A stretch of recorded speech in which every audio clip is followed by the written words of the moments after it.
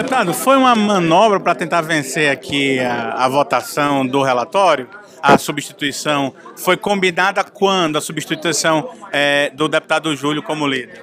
Você pergunta para o líder da, do bloco, tá certo? E se é manobra ou não, essa é uma conclusão sua. Eu acho que isso aqui é tudo regimental. Tudo que foi feito aqui está com base no regimento. Acho que você viu agora no Congresso Nacional as comissões técnicas mudando os membros da comissão, que é plenamente possível, está previsto no regimento. Isso faz parte da dinâmica do parlamento.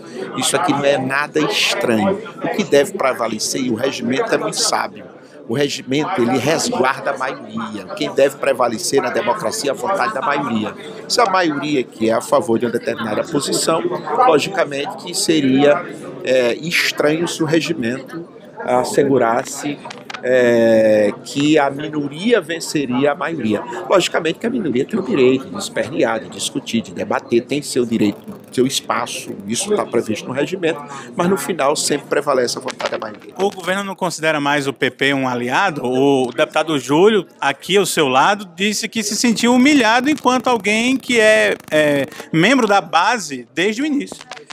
Pois é, mas essa é a posição do deputado Júlio. O PP é aliado, a não ser que o PP queira seguir outro, outro caminho, mas o PP é, é um aliado importante, tem participação no governo de primeira hora, reconhecido por todos nós. Aqui foi uma decisão pontual, o senador Ciro Nogueira foi informado, inclusive, das mudanças que o governo faria, o próprio governador se encarregou de fazer esse comunicado para o presidente nacional do PP, que é piauiense, como todos nós sabemos, exatamente para evitar qualquer, é, né, qualquer interpretação diferente. O governador precisaria tomar essa decisão e, e considerando que ele precisaria ter a maioria para votar aqui no plenário, ele decidiu, portanto, fazer a convocação ou, ou, trazer os secretários de volta, deputados secretários de volta, para compor aqui a casa.